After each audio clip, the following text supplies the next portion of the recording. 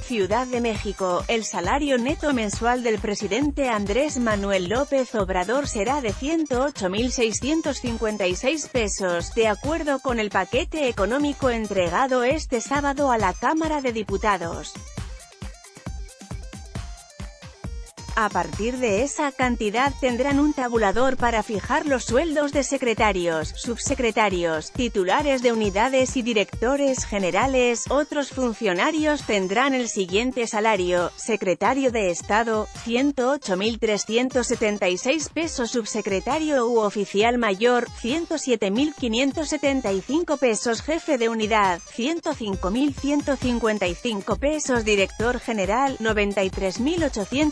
93.830 Director General Adjunto, 80.000. 096 pesos director, 58.191 pesos subdirector, 40.516 pesos jefe de departamento, 25.334 pesos personal de enlace, 16.388 pesos el secretario de Hacienda, Carlos Urzúa, informó que los servidores que ganan entre 10 y 20.000 pesos al mes tendrán mejoras entre el 1 y 3% en sus percepciones.